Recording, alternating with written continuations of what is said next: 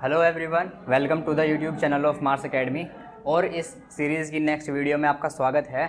इस वाली सीरीज़ में हम कर रहे हैं रीजनिंग और मैथमेटिक्स के क्वेश्चंस जिसमें मैं आपको बता रहा हूँ कि आप किस तरह से बेस्ट अप्रोच लगा के आपको क्वेश्चन सोल्व करने चाहिए ताकि एग्ज़ाम में आपका कम से कम टाइम में आप मैक्सिमम स्कोर कर पाएँ। सो so, जो हमारे पास नेक्स्ट सीरीज़ ऑफ़ क्वेश्चन है उसमें हमारे पास कुछ मिसलिनियस क्वेश्चन हैं। ठीक है? तो चलिए बिना किसी देरी के हम क्वेश्चंस करना स्टार्ट करते हैं। हर बार की तरह क्वेश्चन मैं आपको स्क्रीन पर दिखवा दूँगा। और साथ ही इन क्वेश्चंस की जो पीडीएफ है, वो मैं आपको डिस्क्रिप्शन बॉक्स में उसका लिंक भी प्रोवाइड करवा दूँगा। तो चलिए पहला क्वेश्चन पढ़ते हैं। आपको क्वेश्चन दिख रहा होगा कि ये एक ऑर्डर एंड रैंकिंग का क्वेश्चन है, जिसमें उसने कहा है six persons P Q R S T and U are comparing their weights each having a different one ठीक है तो इससे हमें क्या पता चला कि इस क्वेश्चन में हमारे पास छः पर्सन गिवन हैं और उन सबका वेट अलग अलग है। वो सब लोग अपने वेट कंपेयर कर रहे हैं छः पर्सनस पी से लेकर यू तक। ठीक है? तो इस क्वेश्चन का इस क्वेश्चन का फॉर्मेट हम किस तरह बना सकते हैं? मैंने यहाँ पर छः स्पेस बना लिए। ठीक है? यहाँ पर हम रखेंगे उन छः पर्सनस को, उनके वेट्स के अकॉर्डिंग यहाँ पर मैं रखूँगा सबसे भारी, यानी कि हैवीएस्ट फिर यहाँ पर सेकंड हैवीएस्ट यहाँ पर थर्ड हैवीएस्ट और चलते चलते लास्ट में सबसे ज़्यादा लाइटेस्ट पर्सन यानी कि सबसे हल्का। तो इतना फॉर्मेट कंप्लीट करते ही अब हम क्या करते हैं? जो हमारे पास हिंट्स गिविन है डायरेक्ट उन पर, उनको हम पढ़ना स्टार्ट करते हैं। सबसे पहले उसने कहा R's weight is less than only Q's weight यानी कि आर का वेट केवल क्यू से कम है। इसका मतलब हम कह सकते हैं कि क्यू सबसे हैवी है और आर का वेट केवल क्यू से ही कम है, यानी कि आर सेकेंड हैवीएस्ट है। सो हम यहाँ पर फिक्स कर देंगे आर को और यहाँ पर हो जाएगा क्यू क्योंकि उसने कहा था R's weight is less than only Q केवल क्यू से कम है और किसी से भी कम नहीं है। यानी कि इसका वेट दूसरे नंबर का सबसे भारी होगा। और क्यू का वेट सबसे ज़्यादा भारी होगा। नेक्स्ट उसने कहा S is heavier than only two person S केवल दो पर्सन से भारी है। केवल दो। एक और दो पर्सन से भारी कौन है? केवल दो पर्सन से भारी है एस तो एस की पोजिशन ये फिक्स हो जाएगी। नेक्स्ट उसने कहा T is only heavier than U and lighter than S ठीक है? T is only heavier than U T किससे हैवी है? केवल यू से, यानी कि टी से हल्का केवल एक ही पर्सन है। यानी कि टी यहाँ पर फिक्स कर देंगे और उससे हल्का केवल एक ही पर्सन है यू वो भी उसने क्वेश्चन में कहा तो यू यहाँ पर फिक्स हो जाएगा। और जो हमारे पास लास्ट पर्सन बचा पी तो पी के लिए केवल एक ही जगह बची है पी को हम यहाँ पर फिक्स कर देंगे।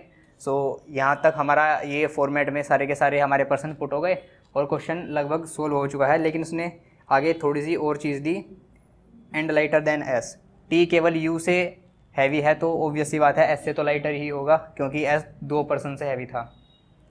नेक्स्ट स्टेटमेंट में उसने कहा the third heaviest weight is ninety के जो थर्ड हैवीएस्ट है। थर्ड हैवीएस्ट पर्सन कौन सा होगा ये? क्योंकि ये है हैवीएस्ट ये सेकंड हैवीएस्ट ये थर्ड हैवीएस्ट इसका वेट उसने दिया है हमें नाइन्टी के इसका वेट है हमारे पास ninety K and the fifth heaviest weight is fifty K और फिफ्थ हैवीएस्ट वेट कौन सा होगा? ये। उसने कहा है फिफ्थ हैवीएस्ट यहाँ पर लोग कन्फ्यूज़ हो जाते हैं। फिफ्थ हैवीएस्ट ये समझने लगते हैं। ये फिफ्थ हैवीएस्ट नहीं, ये फिफ्थ लाइटेस्ट है, क्योंकि हैवीएस्ट हमारे पास ये है तो ये क्या, कौन सा होगा? सेकंड हैवीएस्ट ये थर्ड हैवीएस्ट ये फोर्थ हैवीएस्ट और ये फिफ्थ हैवीएस्ट ये वाली जो बात मैंने बताई, इसको थोड़ा ध्यान रखना, क्योंकि यहाँ पर कन्फ्यूज़ हो जाते हैं बहुत सारे लोग। इसका वेट उसने हमें दिया फिफ्टी के ठीक है? अब क्योंकि यहाँ पर हमारे सारे हिंट्स ख़त्म हो गए तो अब डायरेक्ट क्वेश्चन पर मूव करते हैं। इसमें हमारे पास तीन क्वेश्चंस गिवन हैं इलेवन ट्वेल्व एंड थर्टीन तो चलिए इन फटाफट से इनके आंसर लगाते हैं। उसने हमें पूछा what is the possible weight of S S का पॉसिबल वेट कितना होगा? एस से जो एकदम लाइट पर्सन है, वो फिफ्टी के का है। और एस से जो जस्ट हैवी पर्सन है, वो नाइन्टी के का है। तो एस का वेट नाइन्टी और फिफ्टी के बीच में लाई करेगा। ठीक है?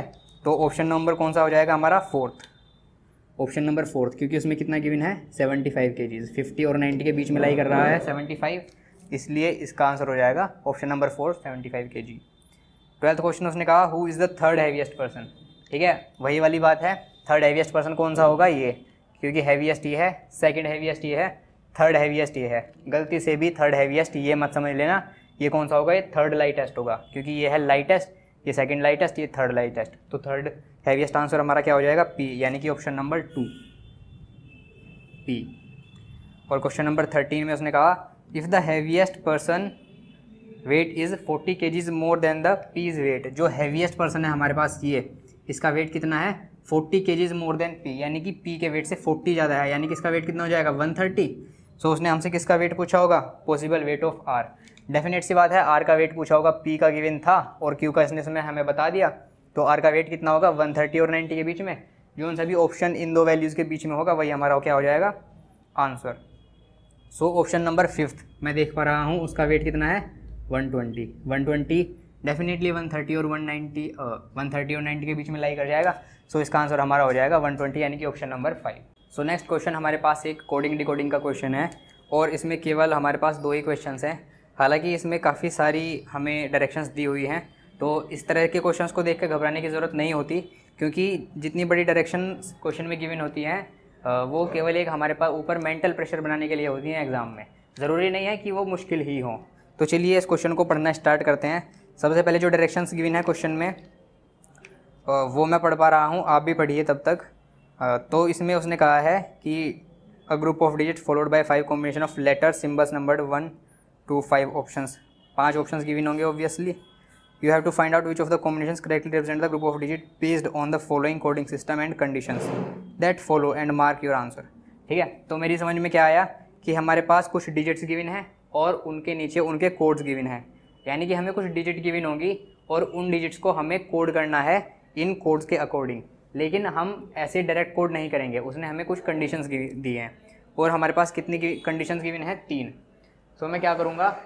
इन कंडीशंस को छोटा छोटा करके यहाँ पर नोट कर लूँगा ताकि क्वेश्चन पढ़ने के बाद मुझे बार बार कंडीशंस को रीड करना ना पड़े। सो so, उसने क्या कहा? हमें फ़र्स्ट कंडीशन में if the first digit is odd and the last digit is even अगर फ़र्स्ट डिजिट हो जाए ओड और लास्ट डिजिट हमारे पास हो जाए इवन ठीक है?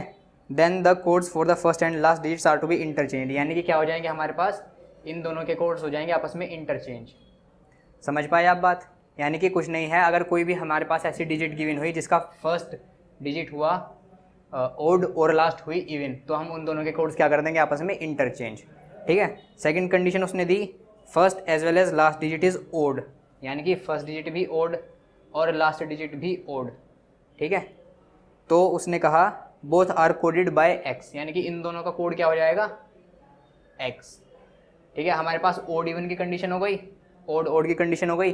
लास्ट में पॉसिबली हो सकता है या तो इवन इवन की कंडीशन गिवन हो या फिर इवन ओड की कंडीशन गिवन हो एक बार पढ़ लेते हैं। उसने हमें कहा if the first as well as last digit is even both are coded by star यानी कि अगर दोनों की दोनों डिजिट्स कैसी हैं इवन तो दोनों का कोड हो, हो जाएगा हमारे पास स्टार ठीक है? तो हमें कंडीशंस बार बार रीड ना करनी पड़े, इसलिए हमने उनको शॉर्ट फॉर्म में करके फटाफट से रीड करके यहाँ पर इस तरह से नोट कर लिया। ठीक है? एग्ज़ाम में जब हम क्वेश्चंस करते हैं इस टाइप के, उसमें भी हमें क्या करना होता है? क्वेश्चंस की जो कोड डिजिट्स गिवन है, वो नहीं नोट करने होती, केवल कंडीशंस नोट करनी होती है। और कंडीशन से हम जितनी जल्दी फेमिलियर हो जाए, इनको दिमाग में बैठा लें, फिर बस हमें केवल देख के ही आंसर मार्क कर देना होता है। अब कैसे मार्क करना होता है, मैं आपको बताता हूँ। हम पढ़ते हैं question number fourteen question number fourteen में उसने हमें कहा four five zero three two six अब देखिए, ये आपको नोट करने की ज़रूरत नहीं है। अगर आप इसको पेन से नोट करेंगे एग्ज़ाम में तो आप कहीं ना कहीं उन हज़ारों बच्चों से पीछे हो जाएँगे जो बिना नोट करे केवल आँखों से देख के स्क्रीन पे क्वेश्चन को देख के उसको मार्क कर देंगे। तो कैसे बेस्ट अप्रोच में हम इसको सोल्व करेंगे? हम देखेंगे फोर और सिक्स फ़र्स्ट और लास्ट डिजिट दोनों की दोनों डिजिट्स कैसी हैं? इवन यानी कि ये बात डेफिनेट हो गई फ़र्स्ट और लास्ट का कोड क्या होएगा? स्टार ठीक है? अब हमें जैसे ही पता चला फ़र्स्ट और लास्ट का कोड होएगा हमारे पास स्टार तो आप क्वेश्चन में देख पा रहे होंगे कि option number first second and fourth तो हमने ऐसे ही एलिमिनेट कर दिए, क्योंकि उसमें लास्ट का कोड हमारे पास स्टार गिवन नहीं है, ठीक है? उसके बाद थर्ड और फिफ्थ बचा। थर्ड और फिफ्थ में से हम देख पा रहे हैं जो सेकेंड डिजिट है। Four five zero three two six ये छः डिजिट्स है ना, जो उसमें सेकेंड डिजिट है फाइव उनके भी कोड्स डिफरेंट गिवन है। तो हम थोड़ा सा और दिमाग लगा के यहाँ पर थोड़ा स्मार्ट काम कर सकते हैं। और अगर हम केवल सेकंड डिजिट का कोड पता लगा लें तो हमारा वही आंसर हो जाएगा क्योंकि इसमें सारे कोड्स कैसे गिवन है? डिफरेंट फ़र्स्ट और लास्ट को छोड़ के। सो so, जैसे ही हमने क्वेश्चन में देखा फिफ्थ का कोड क्या है हमारे पास गिवन आर सो हम फिफ्थ का कोड लगाएँगे आर और हमें देखते ही पता लग जाएगा कि option number third option number third क्या हो जाएगा इसका आंसर ठीक इसी तरह हम नेक्स्ट क्वेश्चन पे अप्रोच करेंगे। क्वेश्चन नंबर फिफ्टीन उसने कहा थ्री और एट फ़र्स्ट और लास्ट डिजिट है थ्री और एट यानी कि ओड और इवन, यानी कि इन दोनों के कोड्स कैसे हो जाएँगे, आपस में इंटरचेंज तो थ्री अगर तो अगर थ्री और एट का हम कोड देखें थ्री का कोड हो जाएगा हमारे पास परसेंट और एट का कोड हो जाएगा हैश यानी कि कोड्स होने चाहिए थे परसेंट और हैश लेकिन उसने कंडीशन में हमें क्या गिवन क्या दिया है कि दोनों के दोनों आपस में इंटरचेंज हो जाएँगे. यानी कि हैश पहले आ जाएगा और हमारा परसेंट चला जाएगा बाद में. ठीक है? तो इसमें अगर हम देखें, हमारे पास कौन कौन से ऑप्शंस बचते हैं? यानी कि हमारे पास केवल फ़र्स्ट और फोर्थ ऑप्शन बचते हैं। आप क्वेश्चन में देख पा रहे होंगे कि केवल फ़र्स्ट और फोर्थ ही ऐसे ऑप्शन है जिसमें फ़र्स्ट डिजिट का कोड है हैश और लास्ट डिजिट का कोड है परसेंट ठीक है? तो बाकी सारों को हमें देखने की भी ज़रूरत नहीं है। यही छोटी छोटी बातें होती हैं जो एग्ज़ाम में हमारा टाइम बचाती हैं। आपको मालूम है बैंकिंग एग्ज़ाम्स में हमारे पास सेक्शनल टाइमिंग भी होती है। इसलिए हमें बेस्ट अप्रोच इसीलिए रिक्वायरमेंट होती है ताकि हम टाइम बचा के अपना टाइमली कंप्लीट कर पाएँ। सो so, हमने देखा फ़र्स्ट और लास्ट डिजिट का कोड तो सेम है। उसके बाद हम सेकेंड डिजिट के कोड पर गए। हमारे पास गिवन है एल एल दोनों में और थर्ड डिजिट का कोड गिवन है टी और डॉलर यानी कि अगर हम थर्ड डिजिट का कोड देख लें तो वही हमारा क्या हो जाएगा आंसर सो थर्ड डिजिट हमारे पास है वन जिसका कोड हमें क्वेश्चन में गिवन है टी यानी कि हमारा ऑप्शन नंबर वन क्या हो जाएगा? करेक्ट आंसर सो फ्रेंड्स उम्मीद करता हूँ आपको अप्रोच समझ में आई होगी, अच्छी लगी होगी।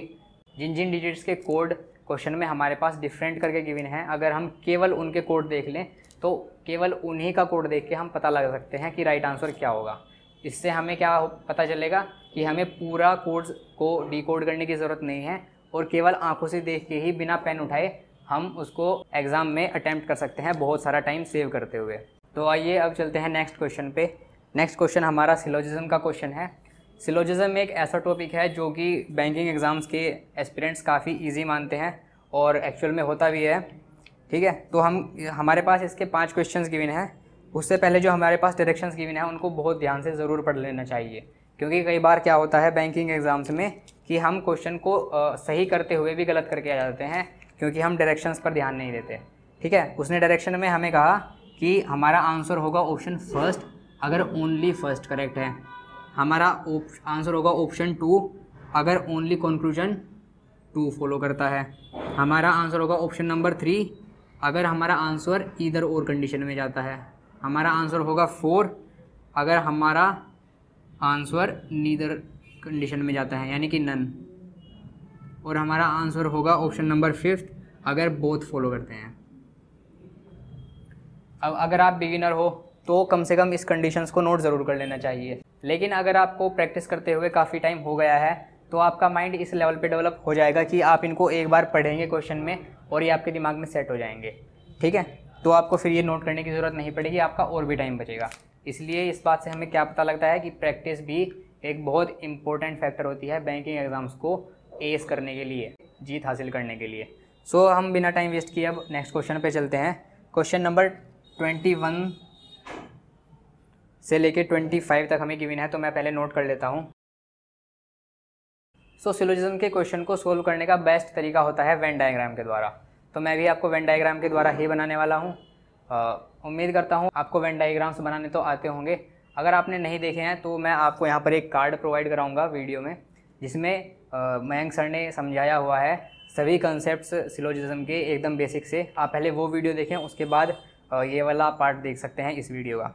तो क्वेश्चन नंबर ट्वेंटी वन में हम स्टेटमेंट्स पढ़ के वेन डायग्राम बनाना स्टार्ट करते हैं। उसने हमें कहा सम ए आर बी फिर बोला ओल B are C all B are C and no C are D और कोई भी सी डी नहीं है। ठीक है? तो ये हमारा वेन डायग्राम कंप्लीट हुआ। और कंक्लूजन्स अगर हम पढ़ना स्टार्ट करें, उसने हमें कहा some A are not D is a possibility ठीक है? Some A are not D is a possibility अगर आप इस क्वेश्चन को ध्यान से देखें वेन डायग्राम को तो आपको पता चलेगा ए का जो ये पार्ट है, जो कि सी के अंदर भी आ रहा है, वो क्या होएगा? कभी भी डी नहीं होएगा।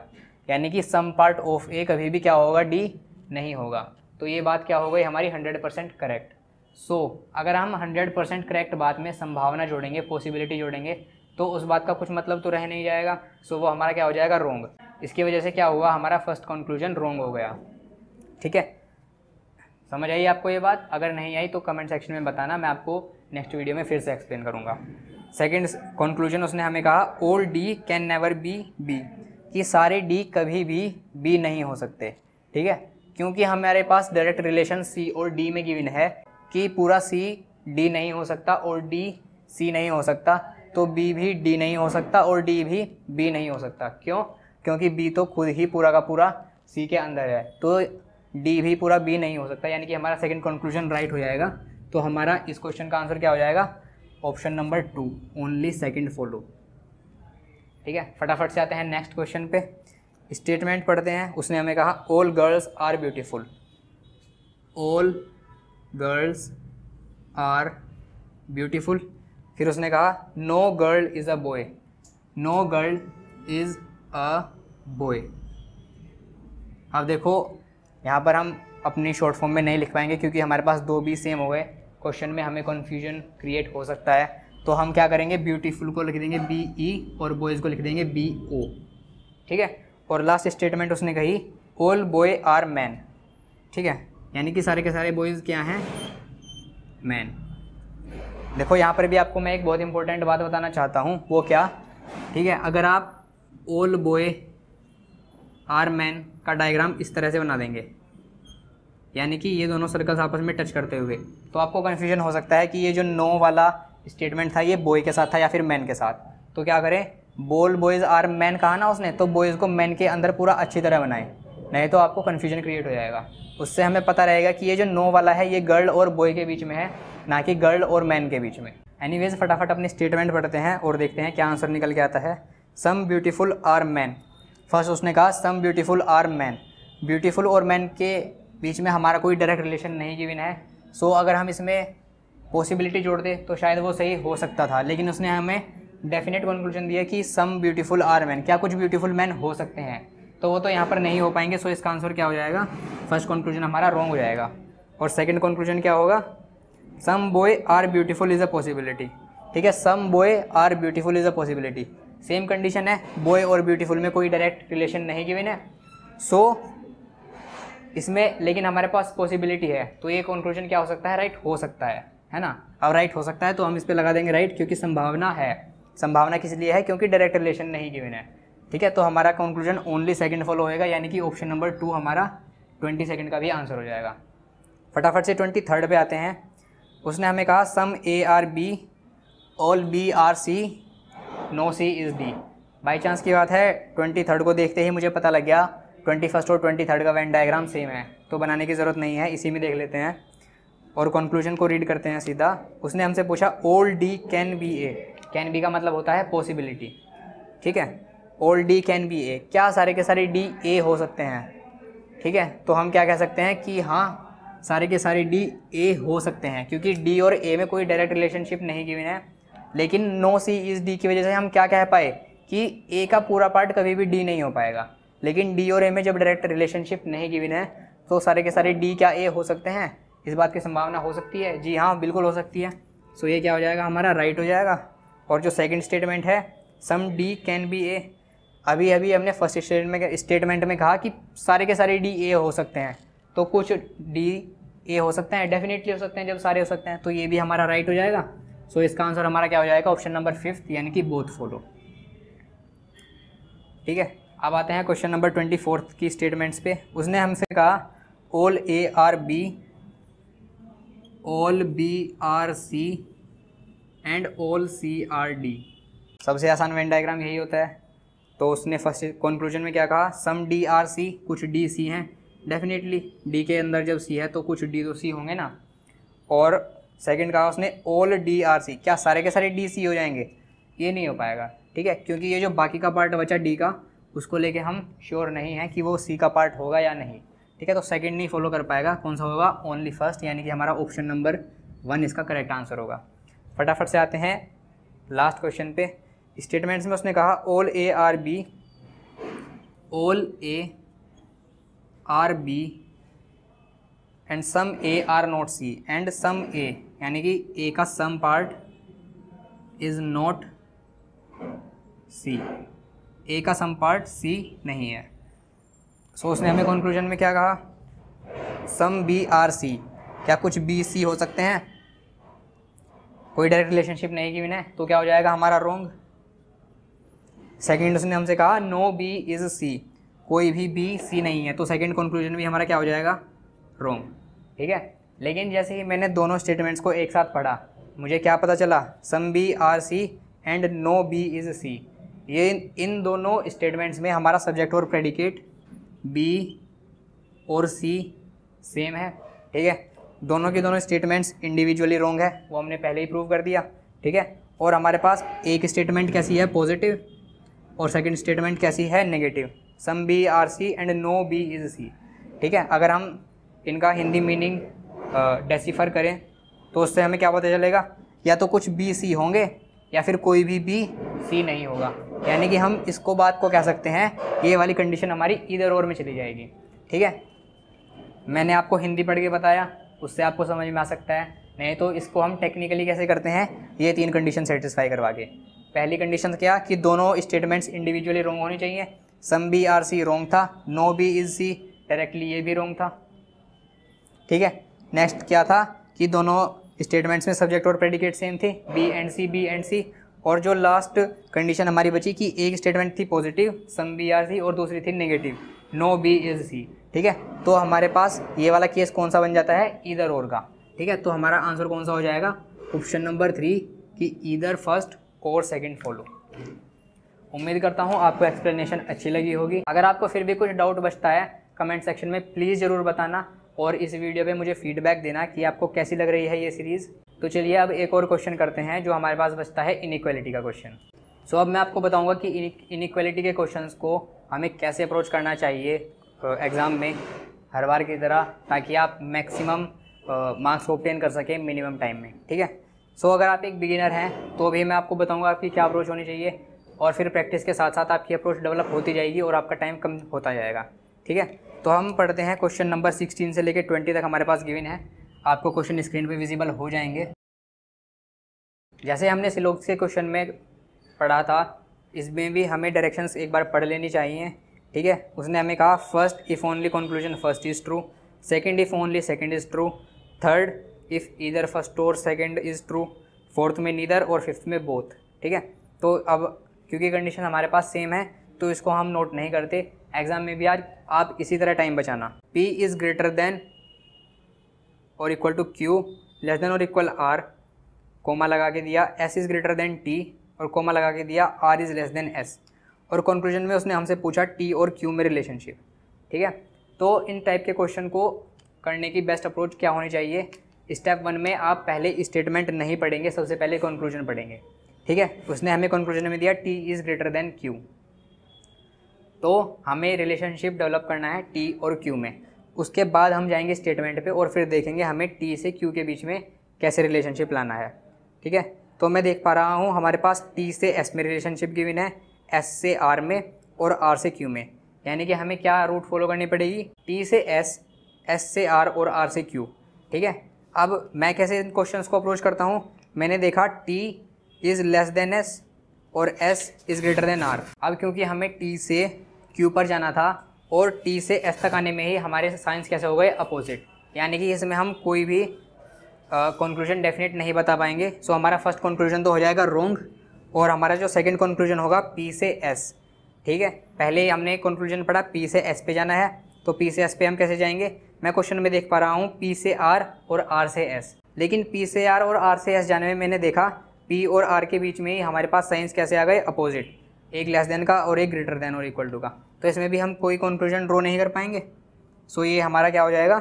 ये नीदर वाले केस में चला जाएगा, यानी कि हमारा ऑप्शन नंबर फोर्थ हो जाएगा करेक्ट आंसर लेकिन अगर आप एक बिगिनर हैं तो इन क्वेश्चंस को कैसे अप्रोच करें? ठीक है? जैसे कि मैंने बताया, मैं तो केवल माइंड में पढ़ के कर लेता हूँ। टी हमें जाना था टी से क्यू पे तो मैं टी से आर पे गया आर से एस पे गया। आप इसको नोट करते करते कर सकते हैं। जैसे टी से आर टी से अगर हम एस जाएँगे तो किसका साइन आएगा? टी से एस हमारा साइन क्या हो जाएगा? एस से टी का अपोजिट क्योंकि हमारे क्वेश्चन में एस से टी गिवन है ना तो उसका अपोजिट हो जाएगा टी से एस कितना हो जाएगा वो? ग्रेटर देन का अपोजिट लेस देन का. ठीक है? फिर एस से आर एस से आर क्या हो जाएगा? ये लेस देन गिवन है क्वेश्चन में. ठीक है? एस से आर क्या हो जाएगा? अपोजिट यानी कि क्या हो जाएगा? ग्रेटर देन का. अब देखो, जैसे ही आपको दो अपोजिट साइन दिखे तो यहीं से हम कंक्लूड कर देंगे कि कोई भी डायरेक्ट रिलेशनशिप एस्टेब्लिश नहीं हो सकता. तो इसलिए हमारा कंक्लूजन हो जाएगा रोंग ठीक, इसी तरह हम देखते हैं सेवनटीन क्वेश्चन को. उसने हमसे क्वेश्चन में पूछा आर से ए सबसे पहले स्टेप हम क्या पढ़ेंगे? कंक्लूजन को. पहला पढ़ा आर से ए अब आर से हम कैसे जाएँगे? हमने क्वेश्चन में देखा आर से सी और सी से ए ठीक है? तो आर से सी पर हम गए तो हमारे पास किस चीज़ का साइन आया? सी से आर गिविन है तो आर से सी ऑपोजिट हो जाएगा. लेस देन का गिविन है तो किसका हो जाएगा? ग्रेटर देन का. और फिर हम जाएँगे सी से ए सी से ए पे किसका बचा है? ग्रेटर देन और इक्वल टू का। क्योंकि ए से सी में less than equal less than equal given है ना तो हम सी से ए पे जाएँगे तो वो उसका अपोजिट हो जाएगा। यानी कि greater than equal greater than equal हो जाएगा। Greater than equal so R से ए तक आने में हमारे पास ये दोनों साइंस आए, और इन दोनों साइन का रिजल्टेंट साइन क्या बनता है? हमारे पास ग्रेटर देन और उसने हमें कंक्लूजन में आर ग्रेटर देन ए ही इक्वल गिवन था। यानी कि हमारा ये आंसर क्या हो जाएगा? करेक्ट ठीक है तो फ़र्स्ट कंक्लूजन हमारा हो जाएगा राइट एंड सेकंड कंक्लूजन में हमें जाना है आर से डी पर। तो आर से डी पर कैसे जाएँगे? फ़र्स्ट कंक्लूजन की तरह पहले आर से सी पे, फिर सी से ए पे और फिर ए से डी पे। अब क्योंकि हमारे पास ए और डी क्वेश्चन में गिवन है इक्वल है ए इक्वल डी तो आर अगर ग्रेटर देन ए है तो डेफिनेट सी बात है आर ग्रेटर देन डी भी होगा। यही रीजनिंग है। ठीक है तो हमारा सेकंड कंक्लूजन भी राइट हो जाएगा। सो इसका आंसर हमारा क्या हो जाएगा? ऑप्शन नंबर फिफ्थ यानी कि बोथ फॉलो ठीक, इसी तरह पढ़ते हैं हम क्वेश्चन नंबर एटीनथ पहले कंक्लूजन पढ़ेंगे, उसने हमसे पूछा ए से क्यू सो ए से क्यू पर जाने के लिए हम क्या करेंगे? हम जाएँगे ए से सी ठीक है? और क्वेश्चन को देखकर हमें पता लग गया है कि ए से क्यू के बीच में हमारे पास कोई भी डायरेक्ट रिलेशन नहीं बन पाएगा। सो फ़र्स्ट कंक्लूजन हमारा रॉन्ग हो जाएगा। जब हमारे पास कोई लिंक ही नहीं गिवन है ए से लेके क्यू तक का तो वो less than greater than greater than equal less than equal या फिर इक्वल कुछ भी हो सकता है। हम डेफिनेट नहीं बना, बता सकते, इसलिए हमने रॉन्ग लगा दिया। और सेकंड कंक्लूजन उसने पूछा हमसे ए से डब्लू ए से डब्लू डब्लू भी क्वेश्चन में गिवन नहीं है। सो इसका भी आंसर क्या हो जाएगा? रॉन्ग ही हो जाएगा। ए से क्यू में हम डायरेक्ट रिलेशनशिप नहीं डेवलप कर पाए, और डब्लू तो क्वेश्चन में ही गिवन नहीं था। तो यानी कि ये दोनों कंक्लूजन फॉलो नहीं करेंगे, यानी कि हमारा ऑप्शन नंबर फोर्थ आंसर हो जाएगा। नाइनटीन्थ मैं आपको होमवर्क में करने के लिए देता हूँ। इसका आंसर आप मुझे कमेंट सेक्शन में बताना। और जो क्वेश्चन नंबर ट्वेंटी है वो देखने में थोड़ा अलग सा लग रहा है। आप पढ़ेंगे तो आपको पता चलेगा कुछ इस तरह से गिवन है। Two unequal to three is unequal to four is equal to five five is unequal to six and six is unequal to seven. ठीक है? सो so, हमें रिलेशनशिप किसमें डेवलप करना है? फोर और सिक्स में। फोर और सिक्स में हमारे पास गिवन है four is equals to five and five is unequal to six तो क्या हम फोर और सिक्स में कोई डायरेक्ट रिलेशनशिप बता पाएँगे? नहीं बता पाएँगे क्योंकि इन इक्वल टू का साइन आ गया और इन इक्वल टू का मतलब ग्रेटर देन या फिर लेस देन कुछ भी हो सकता है। सो so, हमारा फ़र्स्ट कंक्लूजन फॉलो नहीं करेगा और जो सेकंड कंक्लूजन होगा five is less than six वो भी फॉलो नहीं करेगा क्योंकि फाइव लेस देन सिक्स हो सकता है हो सकता है लेकिन डेफिनेट नहीं है। तो सेकेंड भी कंक्लूजन हमारा क्या हो जाएगा? रॉन्ग बट इसमें जो अच्छी बात है क्वेश्चन में, वो क्या है? हमारे पास क्वेश्चन में गिवन है फोर और फाइव इक्वल हैं। यानी कि क्वेश्चन ट्वेंटी के जो कंक्लूजन फ़र्स्ट और सेकंड हैं, उनमें जो सब्जेक्ट और प्रेडिकेट हैं, वो सेम हो गए। अब क्योंकि सब्जेक्ट और प्रेडिकेट सेम हो गए, क्योंकि फोर इक्वल फाइव गिवन है तो फ़र्स्ट कंक्लूजन में हम फाइव ग्रेटर देन सिक्स लिख सकते हैं और सेकेंड में हम फोर लेस देन सिक्स लिख सकते हैं। ठीक है? तो इसका आंसर हमारा किसमें चला जाएगा? इधर और ऑप्शन में, क्योंकि हमारे पास फाइव किसके अनइक्वल की विन है? सिक्स के तो वो लेस देन भी हो सकता है ग्रेटर देन भी हो सकता है। ठीक है? ये काफ़ी अच्छा क्वेश्चन था। तो ट्वेंटी का आंसर हमारा कौन सा हो जाएगा? ऑप्शन नंबर थ्री यानी कि इधर फ़र्स्ट और सेकेंड तो दोस्तों, उम्मीद करता हूँ आपको इन सभी क्वेश्चंस की एक्सप्लेनेशन समझ में आई होगी। अगर नहीं आई है तो प्लीज़ कमेंट सेक्शन में बताना। मैं और ज़्यादा इम्प्रूवमेंट करके आपको समझाने की कोशिश करूँगा। इसके अलावा दोस्तों, जो मेरा पर्सनल चैनल है, उसका लिंक मैंने डिस्क्रिप्शन बॉक्स में गिवन किया हुआ है, जिस पे मैं काफ़ी सारी अब गाइडेंस की वीडियोस अपलोड करने वाला हूँ। आपसे रिक्वेस्ट है प्लीज़ उसको भी जाकर फॉलो करें। तब तक के लिए आप लोग प्रिपरेशन करते रहिए और हमारे साथ जुड़े रहिए। अगर आप नए हैं तो इस चैनल को शेयर ज़रूर करना अपने दोस्तों के साथ, अपने जो फ्रेंड सर्कल में एस्पिरेंट्स हैं। And thank you so much for watching this video मिलते हैं इस सीरीज़ की नेक्स्ट वीडियो में, जिसमें हम एक और कैटेगरी बेस्ड पजल सॉल्व करने वाले हैं। Thank you so much